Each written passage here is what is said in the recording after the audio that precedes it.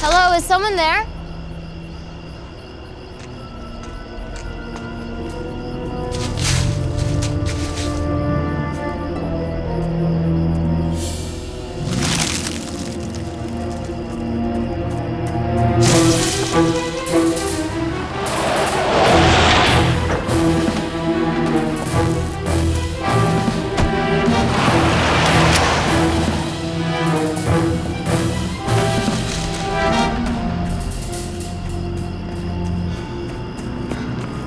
Hello?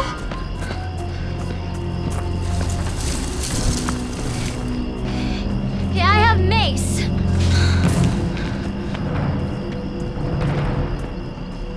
Alexia, Oh, you just about gave me a heart attack, you son of a bitch! What are you doing here?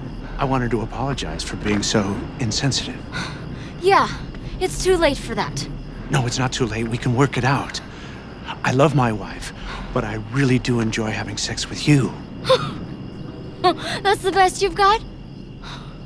But pretty soon everyone will know just how pathetic you really are. I'm afraid I can't let that happen. It didn't have to end this way. Freeze!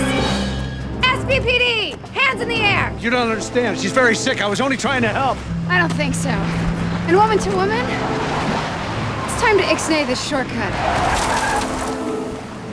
Wait up, Bean, partner, put your hands behind your back. Check up there. Great work from the whole team. He's bound to have Stu stashed up there somewhere. What is this? I haven't seen Stuart in over a week. I got Stu! That was impossibly fast. What kind of sick charade were you planning out here, Tucker?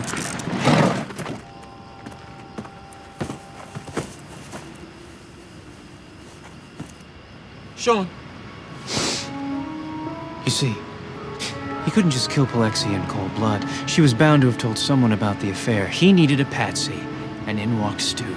Over the edge and convinced he'd been bitten by a werewolf. Evil black light bulb goes off. First, Dr. Ken Tucker gave Stu the wrong drugs to ensure that he'd be passed out at the witching hour.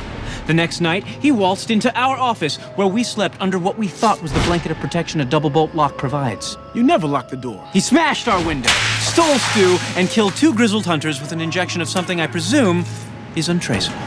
Then he actually proceeded to wolf them up using the tastelessly mummified claws of the beastly pelt that I now wear on my head as a tribute to its power and grace. It's an awful act. Taxidermy.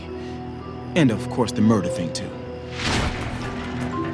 And finally, he branded Stu with a pentagram and left him unconscious at the scene. All leading to tonight, when he would kill Palexia and let poor Stuart confess to everything. For what it's worth, I only went into the woods to kill a deer. The hunters were a mere crime of opportunity, a happy accident. Oh, that's worth absolutely nothing. You're the sickest of us all. Well, Spencer, I guess I should have listened to you. Of course, no one else would have either, so. Does this mean you're gonna pay for our window? yeah, right. That's rich. Mm. Gus gave them to me, just in case. Of course he did. Good thinking. You can never be too safe.